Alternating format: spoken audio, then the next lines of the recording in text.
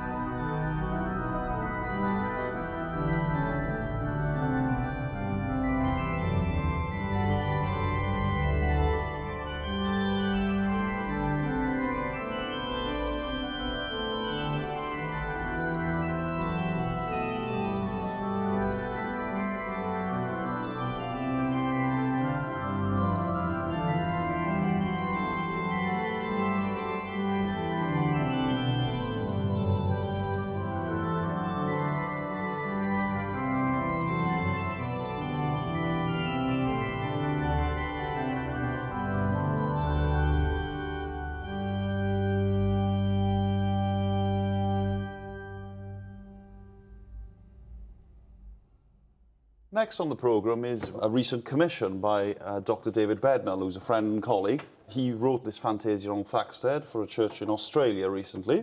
And it's the UK premiere, actually, of this piece. And it's obviously based on Thaxted, I Vow to Thee, My Country, the English hymn tune. Um, and that's, that's given all sorts of treatment in a, in a very rhythmic way um, in places and then in a very um, uh, grandiose style at the end.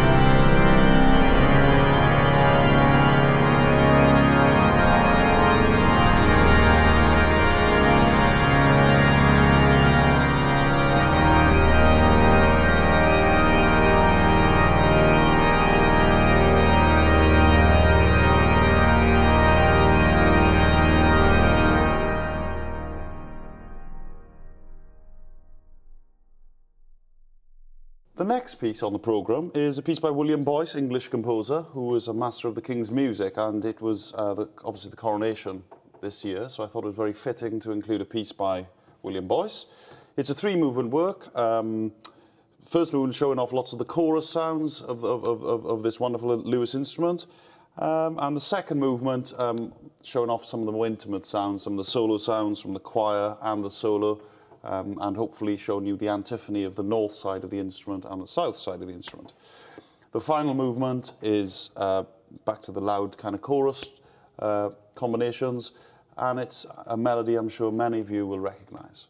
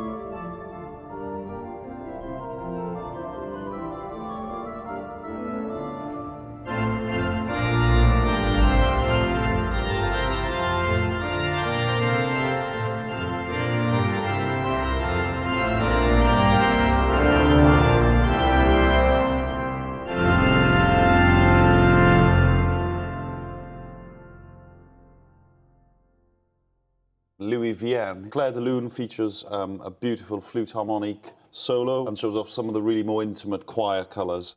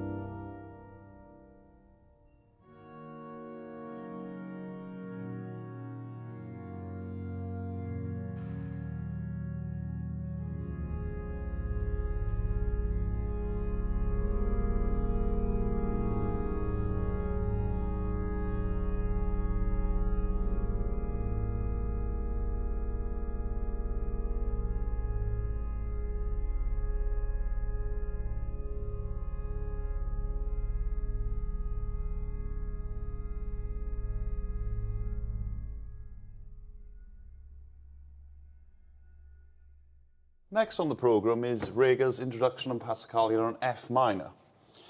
This piece, not as well known as the D minor, um, is a wonderful piece and uh, really shows off lots of the colours of this, of this instrument. And although um, this instrument works extremely well for French repertoire, the French romantic repertoire particularly, Lewis, our organ builder, actually studied with Schulze, the German organ builder, who, um, so, so for that reason, it's a, the, actually got a bit of a German accent, this instrument. So it works really rather well for the Reger as well, and I hope you enjoy um, the, the, very soft colours from the, the, solo strings all the way through to the, the, the loud tutti.